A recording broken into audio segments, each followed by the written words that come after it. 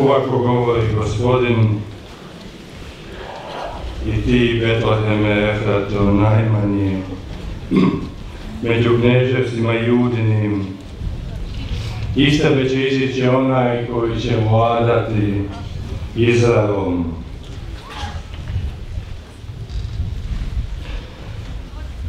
Kako je to velika životna mudrost. Biblijska i naša. Od najmanjih nastaje najveće. Bog u njima govori, razgovara s malima, s onima koji kleče, s onima koji razumiju poniznost, koji svoj život razumiju kao dio velikoga. Od malih stvara velike, a oholi stvaraju katastrofe u našem narodu i u svakom. Stoga budimo oprezni što činimo s najmanjima. Mali i ponizni razumiju da što naviše stojimo, to poniznije trebamo hodati. Biblijska poruka o svakom blagdanu gospinu upravo je takva. Blagdan koji nas uči da je čovjek što je manji, da je Bog veći, da je što je Bog veći, čovjek sam doseže daleko i mijenja ovaj svijet. Da taj koji je malen i ponizan, da on daje najviše. Jednostavna je to mudrost koja kaže da nitko nije postao siromašni od davanja, ali čovjek uvijek postaje siromašniji uzimanjem. Evo djevića će začeti roditi sina i nadjenut će mu se ime Emanuel, što znači s nama Bog, kaže nam danas evanđeljem. Ako prihvatimo da je On s nama, da je u nama, da je On naš, da mi želimo ići za njim, onda sve što mi jesmo se mijenja. Onda naše oko i naš um, naš stav, naš izbor postaje jasan. Tu onda u životu i u mučnim i u lijepim danima nema dvojbe. Ja sam na ovim našim prostorima u zadnje vrijeme često spominjao kako je važno imati čist um i čisto srce. Prljav čovjek nikom ne može pomoći. Bilo mi je fascinantno ovo ljeto kad sam išao prvi put darinskim učenicama. Dok sam se vozio uz rijeku Darinu, koja je bila čista kao biser, nevjerojatno čista. Dugo smo se vozili u uz nju. Do jednoga časa, dok u tu rijeku Drinu nije ulazila neka pritoka, manja rijeka, zaboravio sam i ime, bila je jako, jako prljava. I onda dok smo se vozili vidjelo se kako ta široka i velika drina je čista i uz nju uz rub ide ta mala riječca sva prljava i voda do vode stoji, idu kilometrima i čudno. Nakon desetak možda kilometara ta čista drina postala je prljava. O kako malo prljavštine uništi najveću čistoću, sve učini nečistim. Čovjek je odraz prirode i mi smo njezini. Pa ono što se s njom događa, događa se i u nama i s nama. Pa kad u životu dozvolimo da nam taj dio prljavštine uđe u život, bez obzira kako ga zvali i u kojem dijelu našega života i s kim, onda postanemo nesposobni bilo što dobro činiti i mijenjati ovaj svijet. Pa se onda nekada čovjek u tome kontekstu upita pa koliko možemo dugo mrtvi živjeti. A bojim se da je puno praznih tijela u naše vrijeme i u živih mrtvaca. Živimo u svijetu koji je površan i koji nema vremena za bitno, za duboko, za čisto. Ljudi se prečesto hrane medijima, a ne knjigama. A to je kao da popijete zagađenu vodu. Možda nećete odmah umrijeti od nje, ali s vremenom ćete postati bolesni. Ja iskreno vjerujem da su ljudi žedni čistoga, čiste vode i čistih nakana. I zato su životne vrijednosti važni Hrvatima ova sveta mjesta Gospina. Kad čovjek stane, pita se tko je, kako će dalje, s kime, na koga može računati. Kad čovjek zastane, onda mu duh postane jači, onda više može. Od priče o dvojici ljudi koji su išli u šumu sjeći drva s dvije sjekere, i sjekli su obojica cijeli dan ta stabla, jedan je stalno radio, htio je nasjeći što više, a drugi je malo češće zastajao, odmarao se.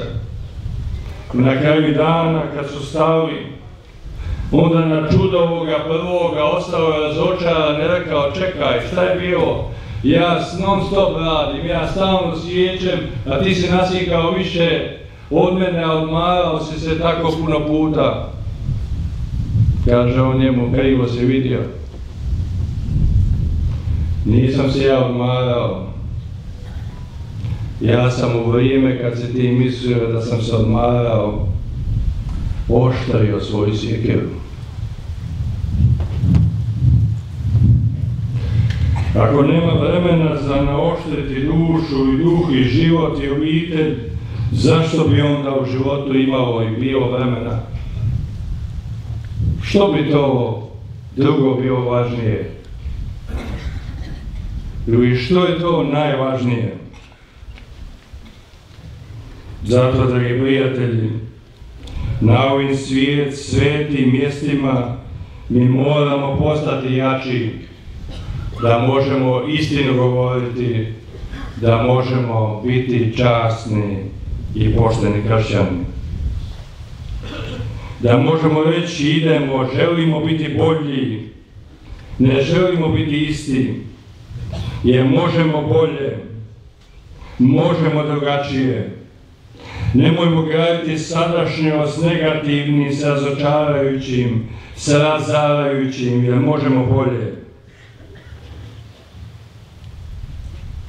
Nedavno šetajući se uz jednu bolnicu vidio sam na počniku neko išarao jedan zanimljiv tekst na kojem piše bolji sam tri točke nisam isti. Ja vjerujem, dragi prijatelji, da možemo bolje. Da kao pojedinci, kao narod možemo bolje. Jer status quo ne volja.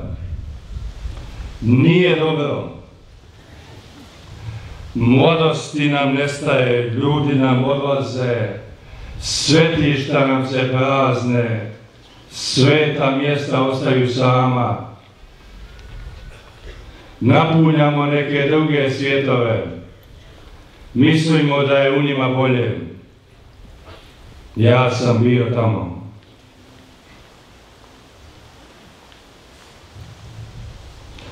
Hoćemo imati snage, zaista imati snage, biti bolji i drugačiji. Čini mi se da se sve mijenjam kad se mi mijenjamo. Sve je drugačije kada mi promijenimo život. A tako je puno zauzeti s ovih naših temelja i s ovih jednostavnih, veličanstvenih svetišta duša, da možemo punijeti to u život i na njemu graditi.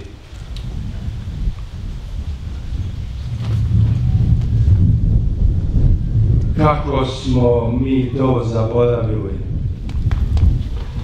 Kad sam ja bio dijete i mnogi od vas, večer svaka je bio događaj obiteljske molitve. Nedjelja svaka bio je događaj pomirenja. Svaku noć se išlo završavati dan s molitvom na usnama i čuvala nas je ona. Zašto ne bi danas? Zato vas ja molim, dragi prijatelji, iz ovoga svetoga mjesta gdje se cijelu povijest prelijevala patnja i svjetlost, gdje je ljubav ipak objeđivala, možemo bolje. Možemo jače, možemo sačuvati obitelj, možemo istinu govoriti kad nas košta, možemo dovesti u pitanje i vlast gore i dolje i one lijevo i desno, možemo dovesti u pitanje sve što nije dobro za narod koji je moj. Hrvati putuju dugo stoljećima, na nama je da ostanemo. Zato, dragi prijatelji, nisam isti, bolji sam. Možemo li to sebi svaki dan iznova ponavljati? Da želim imati dovoljno snage u sebi i u svojoj obitelji, da mogu istinu govoriti, da mogu praštati, da mogu živjeti s onima s kojima se ne slažem, da mogu razumjeti širinu i veličanstvenost života izvan mojih često uskih voljanja. Da mogu praštati jer mi je to Krist zapovjedio. Da kad naučimo praštati, primat ćemo oproštenje kada tražiš mir, dobit ćeš život. Da praštanje prošlosti ima budućnost. Zato što praštanjem ne ostajemo u prošlosti, nismo ničiji sužnji, ni vlastitoga grijeha, ni tuđih gluposti. Zapovijed je to njegova, ona nama mora biti put, drugoga nema. Ako čovjek u svojoj oholosti kaže ne tim temeljnim zapovjedima, reći će konačno ne i svom životu. A tako se malo poznajemo, a tako puno sudimo. A vjerujem tako je istina koja kaže ima više lošega u najboljima među nama, ima više dobroga u najgorima među nama, nego što će bilo tko od nas to ikad saznati. Zato nam je to životna zapovjed, njegova zapovjed da postanemo i budemo, budemo bolji. Zato, dragi prijatelji, da nam prljavština ne bi zamutila um i srce, očistimo svoje živote. Majka milosti kaže da je to dobro. Čista duša lakše vjeruje, čisto srce bolje ljubi, čisto oko bolje vidi. Stoga se maknimo od onoga i od onih koji prljaju. Bolje će nam biti.